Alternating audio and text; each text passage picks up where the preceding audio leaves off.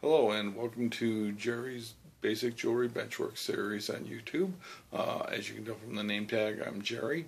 Uh, welcome to my bench. This installment is going to be filmed on a cell phone, uh, so it's a little rougher, no fancy transitions, but I hope you can uh, uh, are fine with that.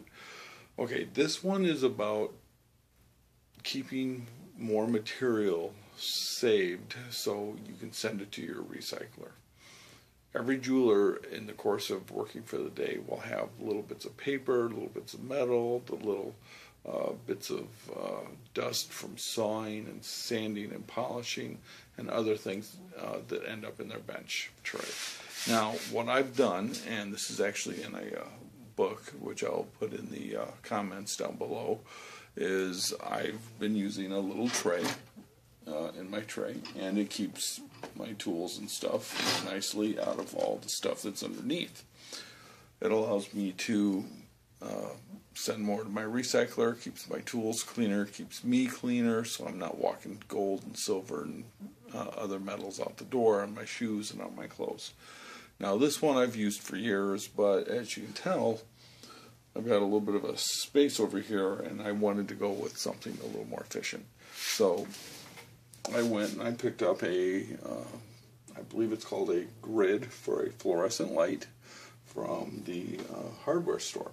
Now this one has, you can't see it, but there's a couple of holes on the bottom and some chipped pieces, so I was able to pick it up for just a few dollars.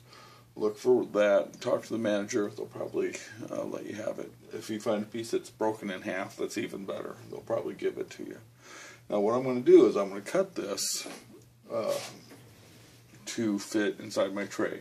Uh, so I'm going to turn the camera off, turn it back on, show you what it looks like when it's done. Okay, one moment. Okay, here we go. The finished product. Uh, one plastic grid cut to fit inside a jeweler's uh, sweeps tray. When I put everything back in, pull out here, you can see that everything sorted itself into the fines which fell down below. And uh, medium-sized stuff, and all the large stuff stayed up top where I can just grab this, throw it out. Uh, the stuff that is not going to go to the recycler. Uh, it's going to shorten my end-of-day cleanup by quite a bit, I think, over the course of the next year.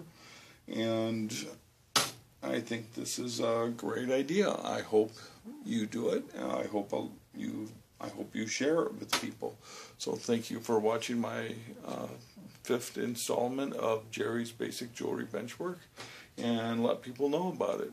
Uh, also, please visit my website www.livingstonjewelers.com uh, for just cool information uh, and fun stuff. Uh, and I will see you when we do the next video. Thank you very much.